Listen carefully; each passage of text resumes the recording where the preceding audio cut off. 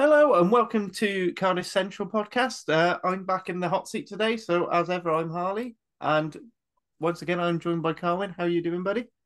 Yeah, not too bad, not too bad at all. I've, I've uh, unlike other pods on in this brand, we normally don't drink, do we? But today I feel there's a good reason to drink, which I'm sure we'll mention in a couple of minutes. But um, yeah, I thought I'd start on the whatever I'm on the Indian Pale Ale or some some kind. Of. So Excellent shout, yeah. Uh, and uh, now I feel now I feel uh, inadequate because I've got some uh, Pepsi Max with lime, just to, just to get that extra bit of sling into my life. um, so before we go in, so it's a bit of a slower week for news, and um, with the main with the first team not being not playing this weekend, um, so we've got a little bit more time to talk about our, our weekend. So, did you uh, watch any any live games of rugby in person yeah. I did uh, not not anything on, on well top level. I, I it was very high quality, mind despite the weather, which was. Uh, I went down to watch Llandaff North against Pontyclun women. Um, really good game. Pontyclun were on top in the first half. It seemed uh, Sophie Peters in the centre. She was absolutely superb. Um, she she was uh, a few people were, were noticing her and giving her a name check as, as she was playing. And um, Pontyclun, I thought looked the stronger side. It seemed to be that Llandaff just couldn't get any dominance. Um, and then they started to come into the game, their pack particularly, so the backs weren't quite clicking. And then the second half, they managed to pull away. Uh, North winning 19 points to 15 in the end, which, considering the conditions, was pretty good going to score a couple of tries in the second half when it was full in storm, or whichever the first storm of the weekend was. I've, I've, I lose track by now, but yeah, brilliant game of rugby, high quality. Um, number of players that were involved with uh, and Brython Thunder, the likes of Charlie Mundy, for instance, playing for Pontyclun. So really good to see, and um, yeah, can highly recommend going down to Hailey Park to watch Llandaff North in the future. Uh, excellent stuff, and uh, I said I think there's quite a few uh, famous Cardiff alum hailing from from that area, but uh, we won't we won't go into that into that sort of things. Um, so first bit of news. So we move on to the news. There's not really. There's only two bits of news. One of them good, but you know, not not not to the same scale as the other bit of news. So if we go first of all, and that is Cardiff Rugby are terrible at releasing signing videos. But the good news is they've we've re-signed Mackenzie Martin, and you know even a very dodgy McDonald's reference isn't going to spoil that for me. No, it did spoil it for me. No, I'm joking. Uh, you know, it's great news, isn't it? It's great news, and that's the that's three of the four um, new caps or uncapped players, sorry, I should say, in the Wales squad that have been signed to new longer term contracts, and how great news that is as well. Um, you know, the cynical side of me sees it and thinks, well, you know, get them while they're well, they're, they're not demanding higher paid contract, but the, the, the, the practical matter of it is they are going to be commodities and they are quality players. So let's be honest about it. Um, so to get get those three and hopefully hopefully Evan can uh, stay around for a while as well. It'd be great to see him having a long term future at the club. So yeah, can't, can't speak highly enough of, of of that of that bit of business to get Mackenzie alongside Mann and Winnett to the long term contract. I'm sure Harley backs that as well. Oh yeah, absolutely. I mean, I you you know you've just the talents of them. I mean, regardless of the Wales aspirations, which you know it's always great to see our players be in selected for national honours. Just knowing that you know these young promising players are choosing to stay with the capital at least during this formative time in their career, which yes, a it's quite nice because we get them a little bit cheaper than if you do what some people say Scarlets did, where they'd let players go to Jersey and Cornish Pirates and then pay for them to come back as senior players. That seems like a false economy to me. So let's get them up, get them through their 25 caps. And if they want to move away and earn big bucks, you know, great. But let's keep them when they're in this sort of prime, prime being moulded in the full Cardiff way. Um, you know, and then as long as we can keep the pathway going, which we should be good. And I suppose I said we're gonna I feel like we're gonna be rattling through tonight anyway. So um, you know, going to the big, big news today, which do you want to take the lead on this one?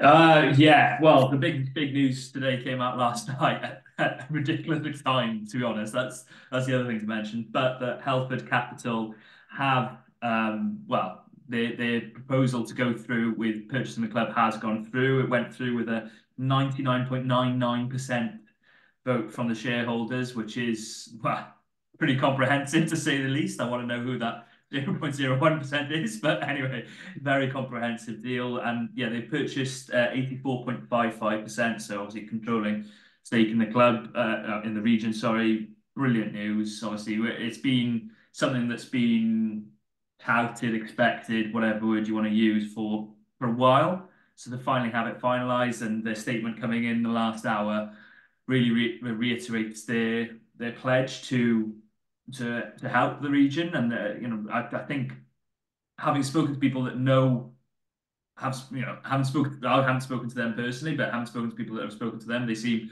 really dedicated to rugby, really dedicated to improving um, the Cardiff Arms Park and the, the rugby experience as well as, as the academy, etc. So that's that's something that can only be commended, and hopefully all that proves to be true and comes out in fruition because um, yeah, lots of things need to be improved. We know that, and obviously there's financial difficulties behind.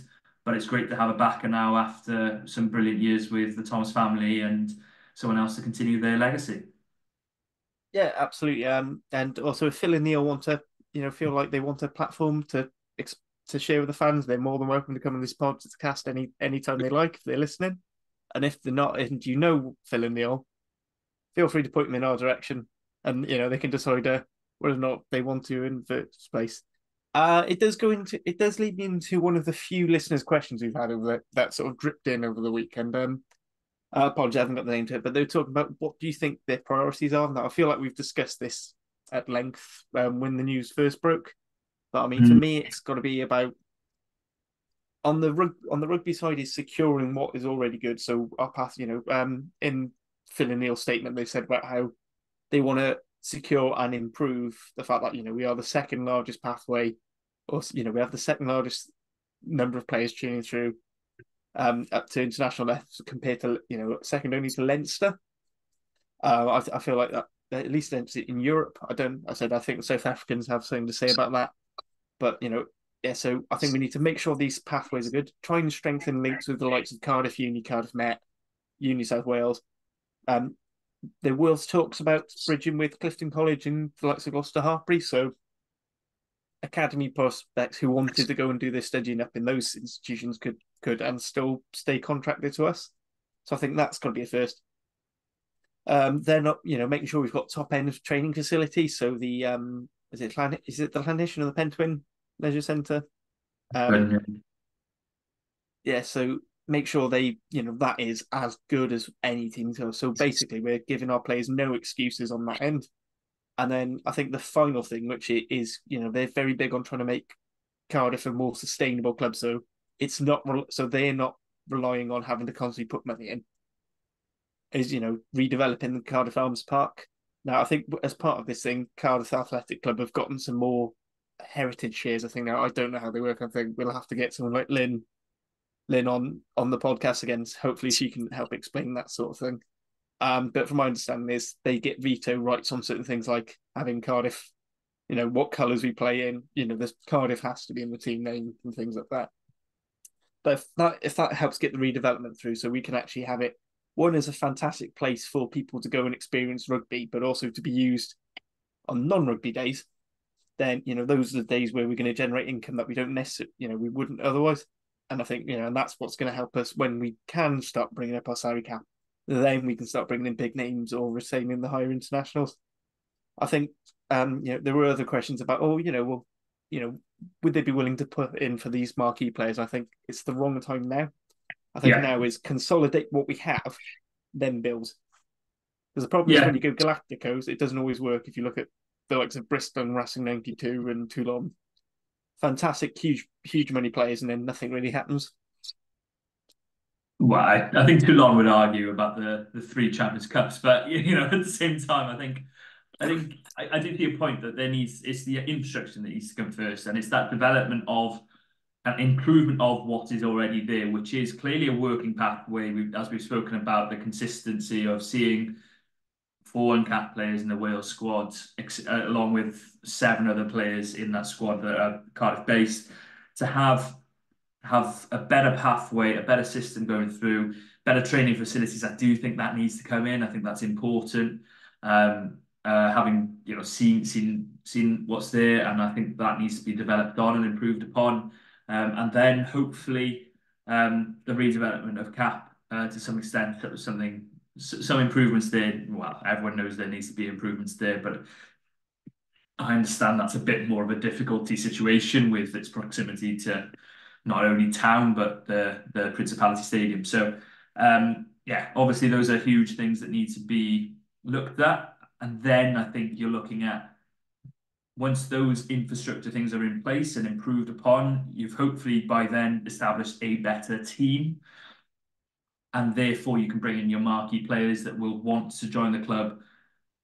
And perhaps um, it won't just be the monetary offer that you can offer them that will be tempting them. It'll be the offer of playing at a high quality team with a number of youngsters and, well, players like Mackenzie Martin who'll be two, three years down the line and better for it and in a position where they're playing international rugby week in, week out. Yeah, absolutely. I, I, I mean, I said, I think when we, I feel like there's not really much more to say that we haven't already said in the past, and you know we can keep going over this in layers. But it, either way, it's this is you know another a promise, you know another promising layer. What has at times been frustrating, but overall has been actually quite an encouraging season for us this season. Yeah, yeah, that's you know we're often touted as being negative, but I think of the four regions, uh, obviously performances on the pitch. You speak of Ospreys, especially after their brilliant result on the weekend, but I think all the positivity that's going around Cardiff is brilliant, and it's all future positivity as well. It's not necessarily a one-track season. You know, yes, Thomas has gone, but keeping the likes of Mann, um, Mackenzie Martin, and Winnett hopefully Brady as well. That's brilliant news. And then you've got the purchase, then you've got possibly redevelopment. They're all building blocks for a future, which is what um, this season has to be. And uh, we've seen that on the pitch. Hopefully, we can see it elsewhere as well. So uh, yeah, it's just it's, it's just really positive to talk about, isn't it? And uh, yeah, I, I appreciate. It. I've normally been the negative one, and I'm maybe going into the negative later on in this pod, but um, at least we can talk about a few positives at, uh, at the start as well. Yeah, absolutely. Um, yeah, I said I, I, think it's just you know a nice nice little um thing to get to get you through the last of January blues. Um, you you mentioned Wales squad, so one thing that did slip when it said we've we've got four and Blacks playing in the Wales under twenty squad. So Harry Wild, Lucas De La Rua, and I've gotten the other two because I'm really bad at this. Yes, likewise. I will. I'll, I'll do a quick uh, Google to see if I can find. Yeah, so you, you should do that. But either way, I mean, all right, it's not as many as for the Wales squad, um, you know, but it's still all in. It's it's encouraging that we do have, you know, we are continuing to pump these these players through. Um, yeah, and whilst you're doing that, I'm trying to think of other points to make. As you can tell, yeah. it. Uh, the one thing on Harry Wild is I'm hearing a lot about him, and I would like to see a bit more of him. Just, yes. That's a small point, but I've heard a lot of how promising a prospect he is. So I'm very excited by the prospect of seeing him in an under 20s jersey. I'd like to see a bit more of him around the Cardiff rugby yeah. system. Um, Matty Young and Cody Stone are the other two That's to mention. Those, those. Um, I knew are both, young both, both, both backs. Um, so yeah, those two to mention, obviously, uh, as well as De La Rua and Wild. But yeah, obviously we know what De La Rua can do, both at the uh, the under twenties level and Cardiff rugby level, as he was proved really really well in the last couple of months. But uh, he's one to look out for. Um, another one, name to mention is Evan Wood, who's with Cardiff Met. Um, obviously, yes, not quite with the blue and backs, but um, one a name to mention for the future, hopefully. As we mentioned about those pathways earlier, about having yeah. stronger connections with Cardiff Met and Cardiff Uni. Yeah, absolutely. Um, and just uh, just want to put our condolences out to Ryan Woodman for the injury he's sustained, so which means he's no he's um unfortunately captain, and that's been passed to his Dragons teammate Harri Ackerman. Um, yeah, you know, it's it's just always shit because I thought he's been playing really well, well for the Dragons. And, yeah, probably the only I'd say probably the only player who's come close to the sort of Alex Manns format in the six jersey of the Wales qualified sixes anyway. Yeah, Ospreys fans have mentioned Rhys Davies, but whether or not he's a natural six or just playing there, I don't like. I don't like it, and yeah. I know. Uh, I know. I know. And Gav from uh, from Dragons Lair would be banging on that drum as well. That you know, leave second rows in the second row. I thought I'd mention it, but I knew Harley was going to come down like a ton of bricks. But yeah, I, I've what Woodman's been superb this season. Um, I, it was very enjoyable to do the pod yesterday. However, with although we don't want to see anyone get injured, doing it with Iestyn, who's been banging the Harri Ackerman drum for about two years, so he, he was rather smug at seeing um, a player he's been banging the drum up, getting the opportunity to be captain, which is brilliant to see. And his his form, especially for the region now, has been brilliant enough, considering he's had some brilliant years with uh, Newport in the past as well. So um, another pathway player that you know for them that's great to hear about. Yeah, that's it. So I do, I do like to, I, as much as I, I like to take the piss out of the the other three.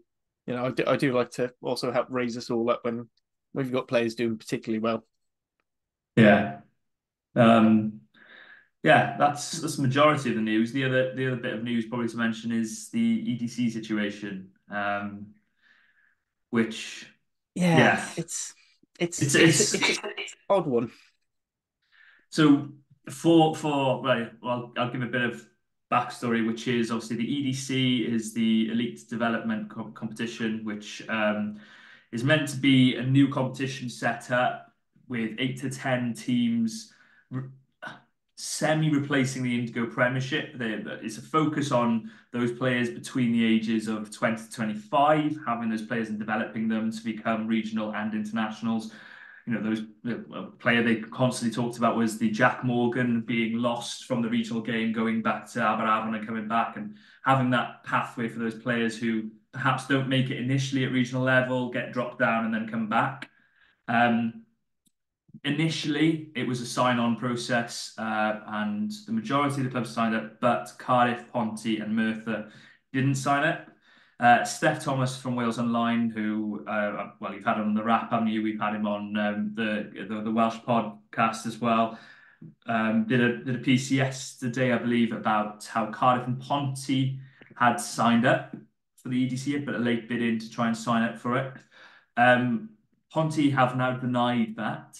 Uh, in, in I think the last 24 hours, they put out a statement online, just short, sharp statement saying that they haven't put a late bid in, and Cardiff haven't yet commented on it. It's it's all a bit of a mess, um, and it's it, the initial statements from all three was around the lines of they were worried about the salary caps and the salary issues that they would have with going into the EDC. Um, I think the obvious concern is do you miss out on the opportunity if you don't take part? Um, and what what is then your situation? But yeah, it's it's all a bit of a mess now, isn't it, Harley? Yeah, I mean the other one that they were worried about is because um, the EDC would be a condensed, a much more condensed format. They'd be losing games home games. I mean that's a, a topic that's always um, on the minds of most rugby fans. Although I feel like we've got to accept that we're only ever gonna we're only gonna get to a certain level of home games again with just how congested the whole calendar is and play things, which is why it's always great with place with like Cardiff rugby season ticket. You get the rags games for free and you get the age grade games tacked on, you know, well most of them tacked on for season ticket. I think they had a triple header for the women for the girls under 18s at cap and that was three pound to watch three games of rugby, which is fuck all. I barely, I probably barely, you know, the people who would have gone there probably didn't pay to have the uh, pay for the referees' uh, expenses. But it's it's it's an odd one. I mean, I get what they're saying. I mean, I feel like we almost we keep trying to do something along these lines. So a couple of years ago, we had the regional A teams, which didn't quite work because they only they had like three games at the start of season, three games in the autumn, and then like there was a game later on, and it never really worked and you know had the regional select 15s before that, which were used in the Anglo Welsh and the British and Irish League, the old British and Irish League. Um, because I feel I almost feel like it would have been better off if we had set just separate entities so that these long-standing clubs could just carry on the Premiership and they could stay on on their thing, and then maybe they have a development side that is based and you know, and you do a ground share type of thing, and you know, even if you did call them Ponty, say say for the cut two Cardiff ones, they just went right, we'll have a Ponty a Merthyr based one, and then you've got the Rags, which Cardiff use as a de facto team of that sort of fit style anyway. It, yeah, I mean, we've we be, but I feel like if we're not in the EDC, then that sort of takes it, you know, and would that affect your more so like the Wales side of things as opposed to coming up to Cardiff because I feel like their pathway they just carry on doing the same thing. And then the question is, is would the quality of the EDC end up getting much better than the Premiership? And then at that point, then is it, you know, are we going to see a much bigger jump for these play for these Cardiff players coming from the rags up? And it, I said it's just, it's just all a mess. I think the, the clarity and the communications around this from all parties has been really poor because yeah. it took it took too long to to announce who was going to be on the panel, which they still haven't. They've just announced it as a panel. They've no no one specified what the actual criteria are for the eligibility of these clubs. The only one we know about is that they're supposed to be working on a budget of three hundred thousand pounds. But they're not saying if the WRU are going to front up some of that money, or if that's coming from the regional sides themselves, or or you know if the clubs themselves are going to have to uh, stump it up. And I think that was one of the biggest fears of the three Cardiff regional teams. So I was at the announcement of of the EDC initially, and uh, that happened uh, late August. And the talk was then that it was going to be a period of applying between September and December. Now, privately, I'd had conversations with people about certain clubs not making it, surprise clubs not making it um, on the ground of their their facilities weren't good enough and things like that, and that that was going to be part of it. That performance wasn't going to be factored in. Um, was was an interesting one. Obviously, got the there was going to be two clubs per region plus a region a, a club in North Wales, which obviously is going to be RGC. So you you then have RGC plus two, plus two, plus two, plus two, and another possibly. Um, the situation with Cardiff has made things more difficult.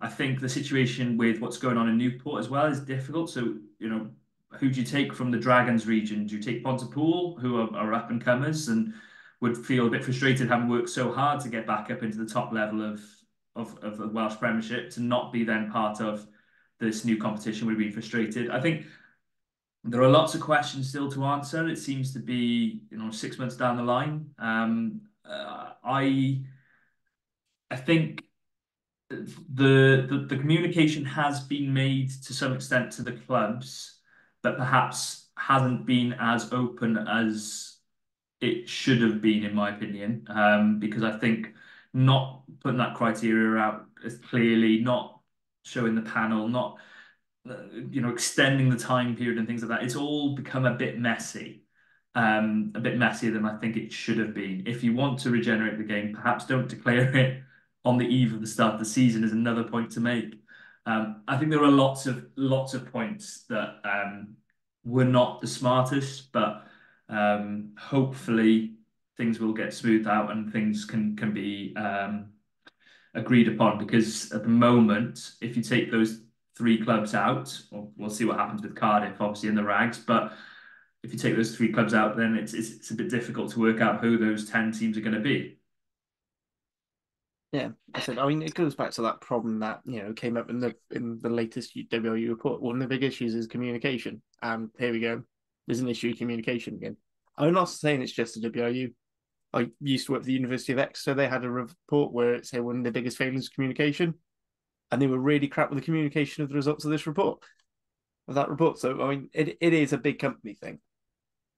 yeah, but it is frustrating. Uh, I, I I said I think until we hear a bit more about it, it's all a bit he said he said she said until we get some nice confirmed statements from WRU or clubs involved. Yeah. Um, um, oh, sorry. Go on. I was I was going to say about the positives from the weekend, which was only what um which was the Cardiff one, the Rags one on the weekend, um, quite convincingly so as well against Neath, who obviously had a bit of a bounce back, but uh, they won 35-17 down at the Gnoll. Uh, Bridgend took the win against Pontypridd in the Celtic Warriors derby, which was obviously a, a, very touching moment for them. Obviously, they were uh, paying tribute to JPR Williams after his passing two weeks ago, and uh, a number of his, of his ex players, well, fellow ex players, were, were were there, and um, a brilliant game. I think Pontypridd were very close to getting the victory there, but unfortunately just missed a few kicks at the end, and uh, took it 15 points to 13. But yeah, unfortunately also uh, couldn't play uh, because of a frozen pitch at Pontypool those were the those were the weekend games in the Indigo Prem. Right, so I suppose we best um, talk the elephant in the room. So we are officially out of Europe now, to no one's no one's real surprise. Um, so we we lost 48-26 to Racing 92 in the in the Disco Dome with the weird kickoff time. Um, well, probably the kickoff time everyone wants Saturday at quarter past three, but it just feels wrong for the venue. What are, what are your overall thoughts on the game? Um, oh, it's difficult. Difficult to sum, sum it up really simply. Uh, my my initial I want I don't want to say threw it away because that simplifies it a little bit too much. Um, but I think my my main feeling is if you work so hard to keep the score down to 2012 at half time, which Cardiff did brilliantly so, and it has been a habit of Cardiff conceding last minute tries at the end of the first half or points at the end of the first half. Look at Harlequins and how that costs you. Don't then throw it away with three cheap tries in the first 10 minutes of the second half. And that's my, and that is, I, I, I can't get away from that. Yes, it's negative, I know. We'll talk about the positives later in the game at the start of the game, but those tries are too cheap, too easy. Um, starting off with you do something that Cardiff don't really do, which is play from their own half, uh, playing from their own 22, lose the ball. Rhys Carré does brilliantly um, to, to re, re, uh, save the situation and takes out the goalpost in, in doing so, which you haven't seen doing the round on Twitter, please do. And then Tomos Williams needs to find touch. It's a really simple, brilliant bit of skill from Tadeb to keep it in and then beat a couple of defenders to score. But that needs to be off the park. Likewise, then switching off when there's a penalty in midfield, everyone sort of honeypots in, draws the defence in, and then it's easy easy to spread the ball out to Christian Wade, who performs a bit of magic and tomfoolery and makes does does make a kipper out of um, that's not saying, but does does an amazing gradient kipper in the corner and uh, with some hoodwink, and then turning the ball over for the third try. And it's it's it was just too easy. I, I that was my frustration. Is if you watch that game back uh, as I did, because I, I I sort of watched the first half and then I was trav I was driving and then had to go back and watch the second half. Was going back to the tries initially. Each one of those tries starts with Cardiff in possession, and it was just a bit frustrating. Uh, I think that's I think that's the word for the season, isn't it? Frustrating at, at points, but there are so many positives around that. It was just I felt maybe maybe saying an opportunity gone begging is a bit strong because I think Racing probably were the well, were the stronger side and would have won that regardless. But still, it was it was too too simple to give away. Yeah, it it is one of those really weird ones because like for me, we scored three. Was it they scored two tries in the first in like the last twenty minutes, and then another three in those sets. So it's only a half hour block really where we got blown away. Yeah, and you know, I said, the one thing I thought that killed us in the Harlequins game was conceding that last minute try and we thought, right, we we we stopped it. Great, we can kill out firing and get on. And then it just, and then they, we let in that soft try, mm. and then it was like we were too shell shocked until about the fifty first, fifty second minute, and then we went, oh, hang on, no, wait a minute, we've got to defend. And actually, yeah. that we only let we only let one more in from there. Yeah, you know, we scored two decent wins ourselves. Um, yeah, I mean, I thought when ball was going to hand, the attack looked really good. I, I said Oh. This, you know, this, I'm I, am i am going to carry on banging the drum for um having Carré and Toumani on the pitch together as long as possible because that gives us go forward. Because if you if one if one's just gone into contact, the other one's ready to go, and we've got a big powerful carrier there. Ben Thomas at twelve just gives us a dimen- some extra dimensions of attack, which I think you know I I think because he's that different player and he's more of a playmaker to Halaholo, it does allow De Beer to be a little bit more aggressive and carry a little bit more, and that helped. You know, but then we can still keep shape. And again that gives our midfield a lot more direction. I thought Alex Mann had another fantastic game until he went off. Um, actually, I thought our bench was overall was fantastic. I thought it worked really well. Kudos to Rhys Carré after sending a post off for HIA to uh, you know, doing putting in a decent 72 minute shift. He probably should have gone on about five minutes earlier, I think. I think you could see there was a right towards that last sort of 65, 70 minute, you could see he was really struggling. But I I, I get it because you've got Reece Barrett on the bench. He's only really played rags level, then bring them up. But you know, that's a sign of where we are. You know, ne- this time next season, I think Reece Barrett comes on a bit earlier, and we probably don't concede that last try. Certainly don't concede the scrum penalty to get that last try. Um, yeah, um, Toumani was unbelievable when he came on. It was a shame it was at the expense of Big Mac. yeah. my oh, word, we have got to keep him. Ooh. I there's, there's something it's almost Big Nick esque, and it almost you know where it's, inter- it's it's interesting you say that because a couple of weeks ago I do remember sort of thinking it's it's almost inevitable that he's not going to stay. Oh maybe yeah. me. Oh no, I think I I, I agree. I, he probably is, but oh, God, it was just the turnovers he was getting. It just reminded me so yeah. many times of the like peak Nick Williams, where it's like we need a moment, and he just sort of comes, pilfers the ball, clean turnover, and then we're yeah. up. So, and I think that's it is something we do as great as our sevens are. I think other than Thomas Young, most of them hold for the penalty as opposed to the clean turnover. I know Ellis Jenkins does it occasionally, but I do think although we don't get many penalties that way, it helps being you know it helps because we're actually getting true transition ball because you get a really nice clean presentation. and because Toumani's so long, you you know it's that long. You know he almost forms that long ruck for you, and the ball's away. Um, I thought defense overall, apart from that sort of half hour gap, I thought was mostly a lot better. You know, I said keeping keeping that line and the line out was hundred percent, but still a little bit wobbly, so it wasn't clean. They were very quick to sack Rory Thornton, mm. but at least we were getting the platform, which is something we haven't had in a lot of other games. Yeah, yeah, I, I, back everything you said to be honest, I thought, yeah, like you say, the bench was superb. Um, and Ben Thomas, I thought, yeah, he's starting to look like a proper player. Um, starting to look like, uh, uh, actually, I, I, correct that, starting to look like the player that he looked like two or three seasons ago. Hmm. He sort of came on the scene, looked like he was going to be a big prospect, had a little bit of an iffy spell, which is understandable for a young player, and he's come back stronger for it, and he's clearly reveling in this. Um, I don't want to say freedom, but the, the almost uh, the trust that Matt Sherratt's putting in him.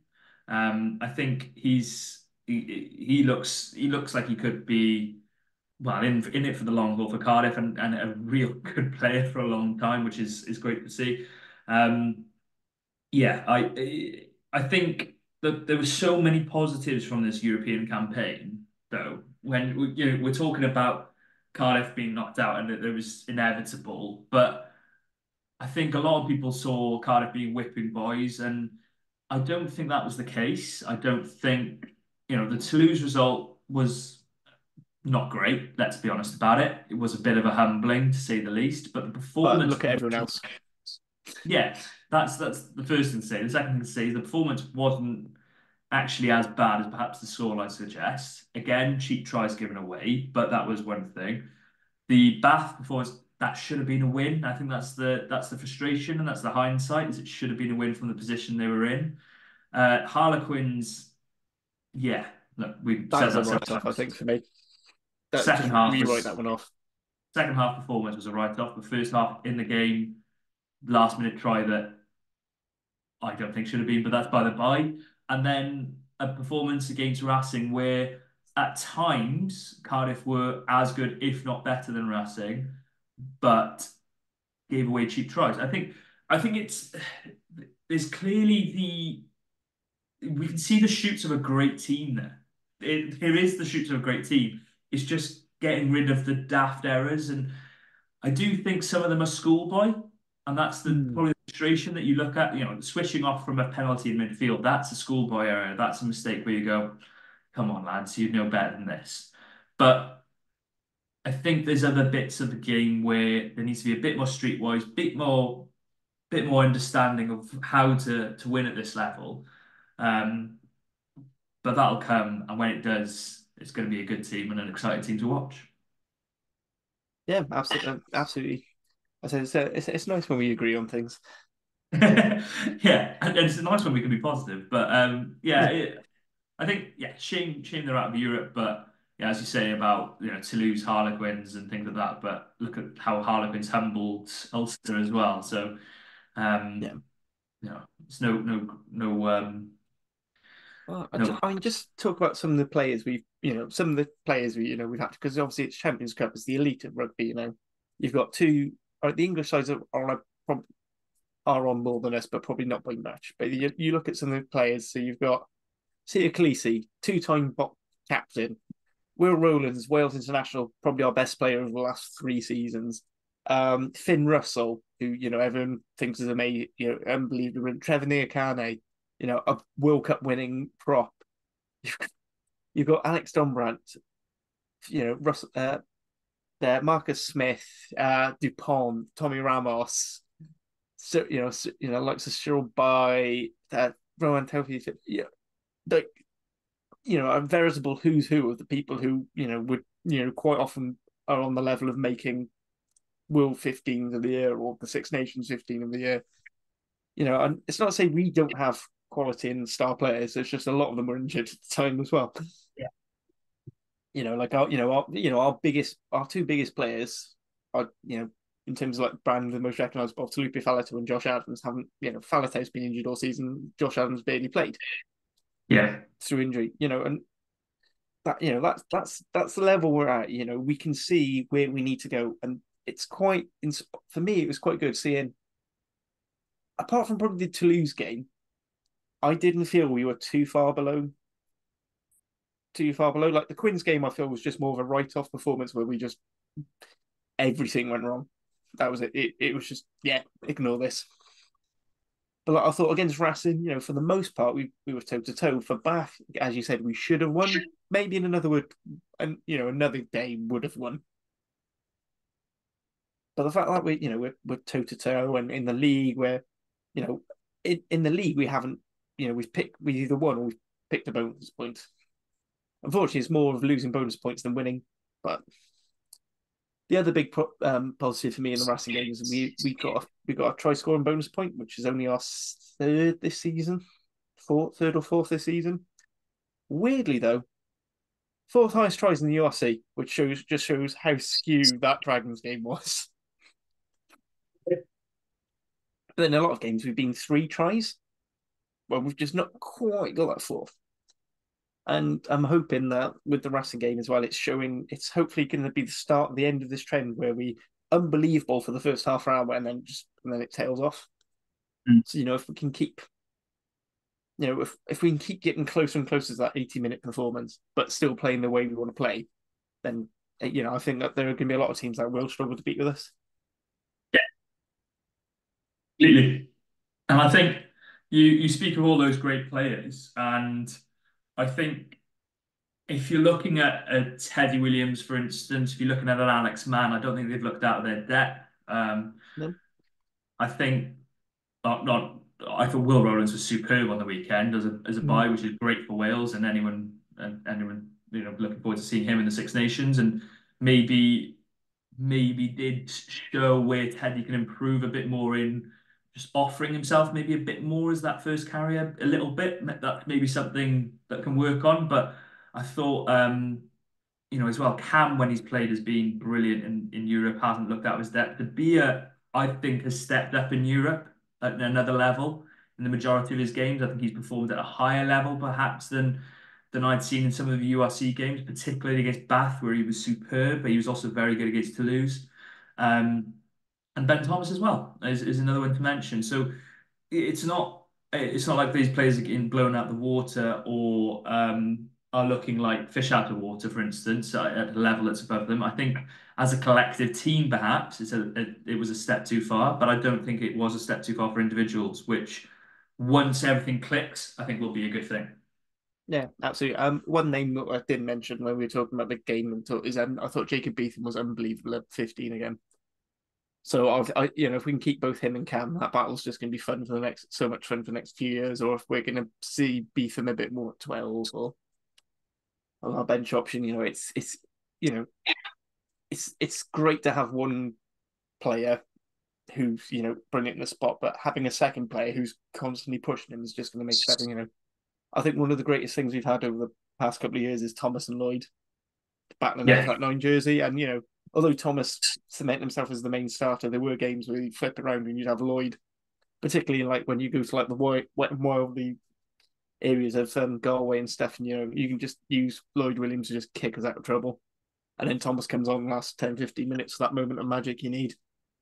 Yeah. Yeah. Completely agree. I think I think Cam is definitely the guy in the box seat. Um, but you'd expect that from a guy uh, when he's competing against a guy who's missed it, year of rugby. So um, yeah, I, I I think I think Jacob needs a run of games somewhere, and if you can get two or three games, that'd be great because and it, it in a weird way it may be the best thing for well not in a weird way, but I think Cam getting selected for Wales may be one of the best things that happens to Jacob in that he gets that opportunity to play week in week out play three or four games straight off the bat and get used to playing in this in the, this high level because I think he's still missing that a little bit. That's my thing on Jacob, but he looks, you know, he's one hell of a physical specimen to be playing at fullback. You know, the size of him, he's got a boot on him. I know they kicked one out on the full against Racing, but he does have a good boot on him, and he can goal kick as well. Something um, I didn't know until a couple of weeks ago when I went down to watch Cardiff, which watching him warm up and goal kick in the in the warm up. So um, hopefully we see that in the future as well. Yeah, I mean, let's be fair. As Cardiff fans know better than anyone, you can never have too many goal kickers. oh, that is painful. You never know. It's, it's, still too soon. It's still too soon to talk it about. It will always be too soon. um, yeah, it's yeah, so it's yeah, just really exciting. I think this is one thing where you know, you know, careful what you wish for with the whole not having games during international windows because obviously we're not going to be, we won't be in action now until the seventeenth of February when we host Connacht. Which mm. again, I want everyone. Let's get going. It's always a great game against Connacht. You know, it's always a nice open game. We've got a really good home record against them, and I think you know the crowd is a big part of that. And I think you know if we can nail that down, so I'm going to be pushing this every week now. Is get get cap for Connacht. So I said, you know, Beetham probably have a go. You know, so Beetham will probably get the nod at 15 for that one, and then on the game in sort of March, where I believe we're away to Glasgow, third of March. I can double check that. You see, they're either third of March or it's the Glasgow's either that March rest week or the or it's the first one straight after the Six Nations when we're not going to have a we're probably not going to have our internationals for those three games. Second of March, uh, home to Leinster. Oh, cool! So we got two Irish home, both Irish home games. Well, it's it's really this is where the format and the rugby calendar really annoys me. Because imagine now we didn't have Europe.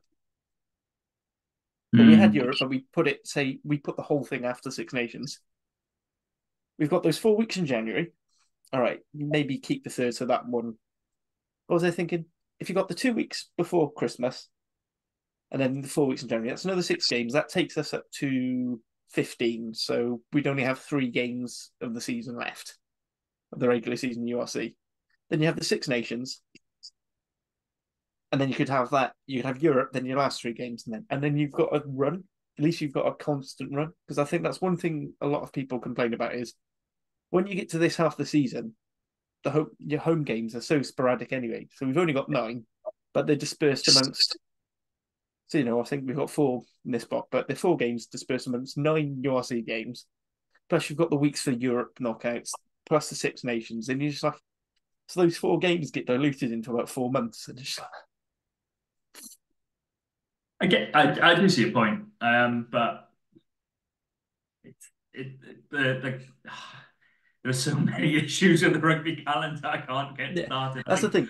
I think this Until... season is weirder as well with yeah. Rugby World Cup, etc. But yeah, I said until we can sort of get it all. I said, I mean, New Zealand fans don't realise how lucky they've got it because they've got their big pro competition. So you know you've got the five Super Rugby sides. They play that. Then they then the, the, the All Blacks then go all the ones who are good enough to be in the All Blacks or Maori All Blacks. They then go off and they'll play. They'll have their summer tours warm up. Then they have the rugby championship. Then they have the autumn to finish off. In the meantime, then any Super Rugby player who doesn't go into the All Blacks goes down into a provincial thing, so it splits the wages. It's why it's the reason I think that that system works. Because mm. imagine now, like Cardiff basically only had to pay for the URC and Europe, say, and then those players went off, and then you know you split in between. So then the Premiership then are getting you know URC level players filtered through, and then you've got an extra thing there whilst the internationals are going on. So you're not going to have clashes. You, you know, you're not going to be missing.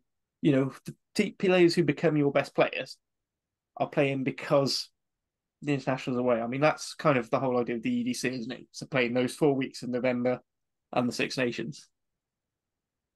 But it's just like, it could just be the fact that we have, you know, Cardiff don't play now until start of Feb, until mid Feb. Then it's March, and then there'll be sporadic gaps around because we've got the European knockouts, which, well, unfortunately, we're not part of. But I mean, I don't think you should ever hedge your season on the hedge your bets on knockout rugby. Not now, no. Yeah. Um, yeah, it's it's it's that.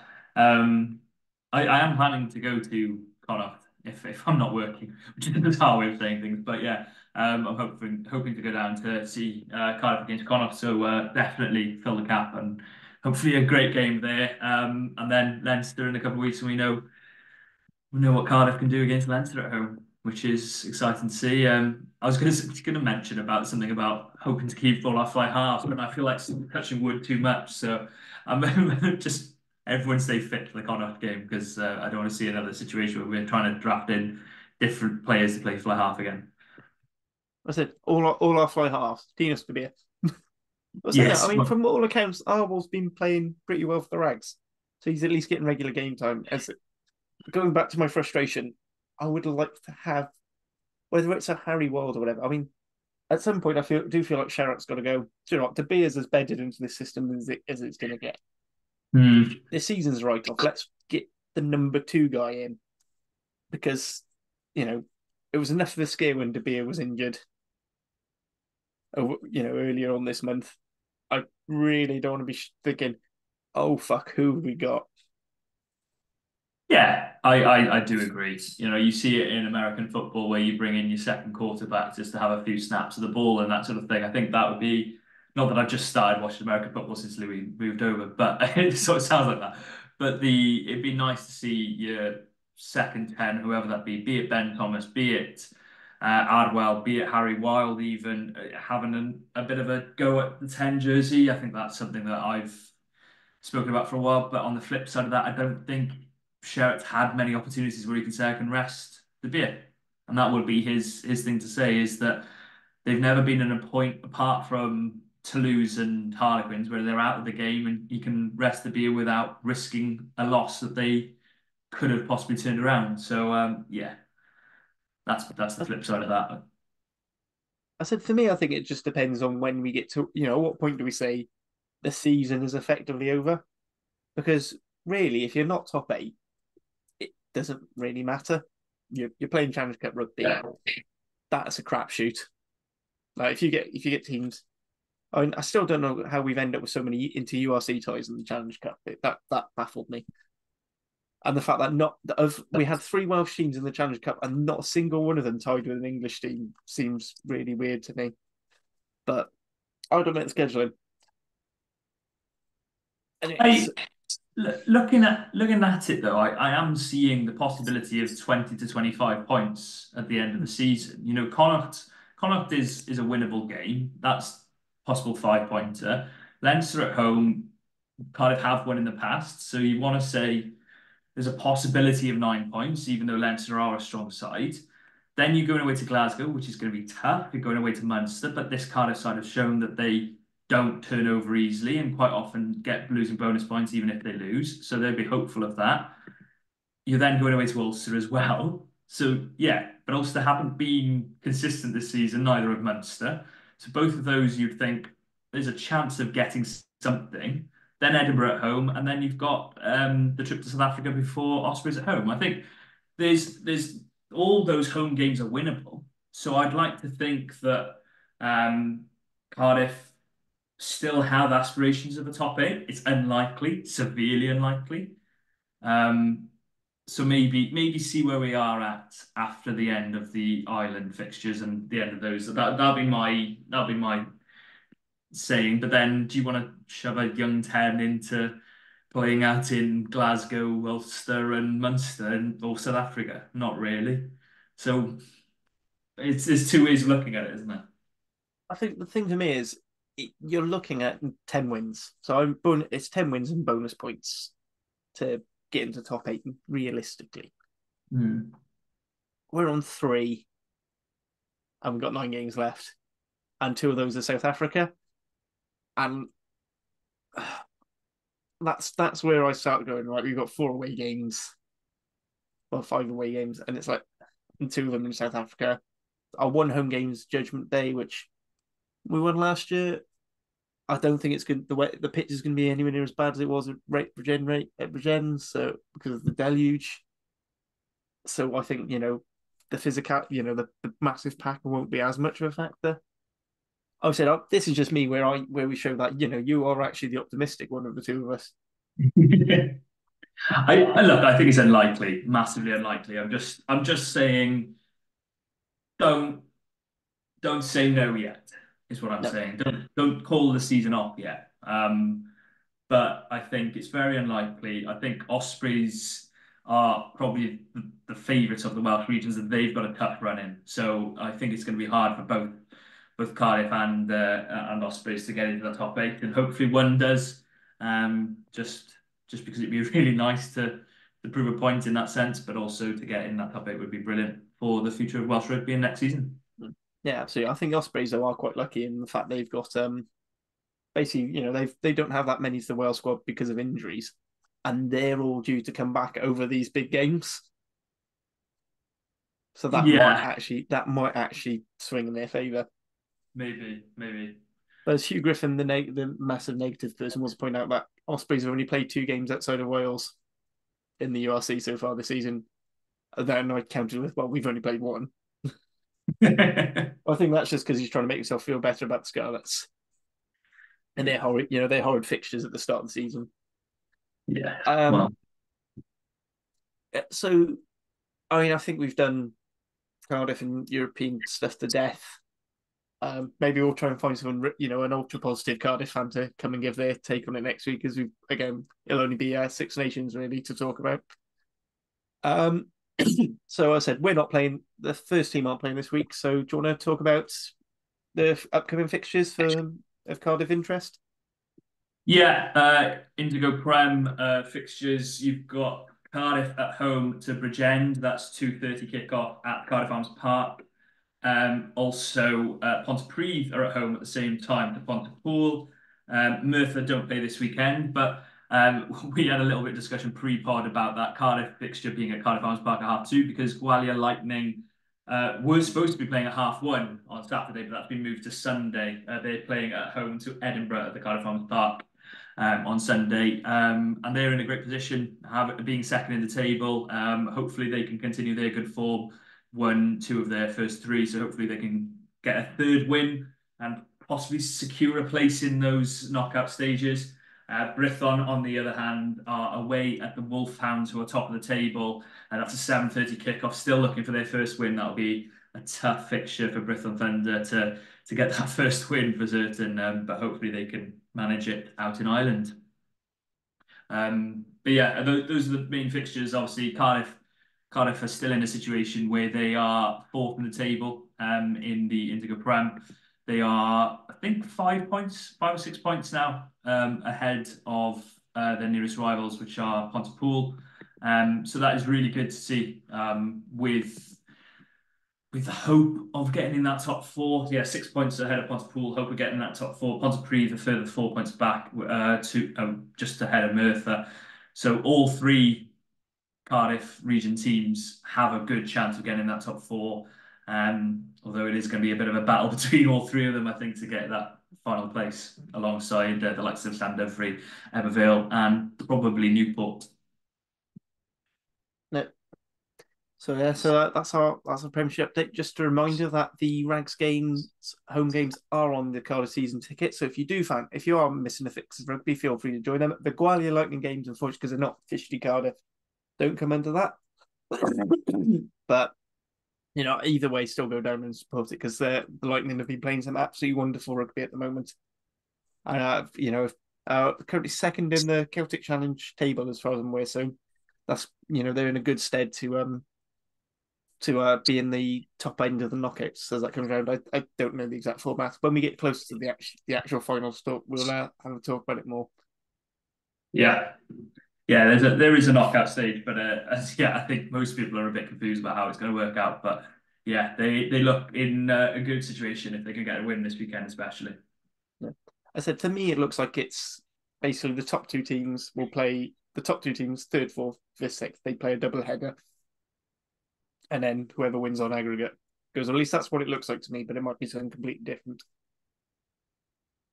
Yeah, I'm I'm a little bit about it, so I'll, I'll leave it to your uh, expert opinion. But yeah, I'll yeah. See, see, how it, see how it turns out in a couple of weeks. I wouldn't go uh, call any of my opinions expert. Um, so we're nearly, nearly coming to the end now because um, uh, you know the Ospreys got some bloke called Lance on tonight, so uh, so they've asked us to make way because you know they need a, an extra half hour to do their hair and makeup. Yeah, some some bloke called Lance. It's it's it's it's uh. It, I was going to imply that it was another Lance, but I won't do that for libel reasons. But yeah, um, I was trying to think of any other famous Lances, and the only one I can think of was not the one I want to compare him to. uh, Lance, Lance, uh, yeah. So look, Lance Bradley, new CEO, is uh, joining Ospreys Irie in possibly the worst kept secret we've been holding within the pods. So you know that's uh, David Buttress. So we've had David Buttress, Simon Mudrack, Lance Bradley now on, um, Anthony uh, the communications manager for Ospreys. You know, so um, um, if if Dicky, if uh, Richard Holland or Alan, if either of you two want to come on and voice your opinions and correct anything you've heard out in the media, again, you're more than welcome to come and come and speak to us. Um, and then all I want to do is just another uh, another shameless shameless begging of if you're enjoying the podcast, please please review, leave likes, comments. Uh, it all makes it all helps us. Uh, watch us on YouTube because that help, and subscribe on the YouTube channel, which is WRRAP Podcast, which annoys me because it's podcast podcast, but Lee tells me to shut up every time I bring it up.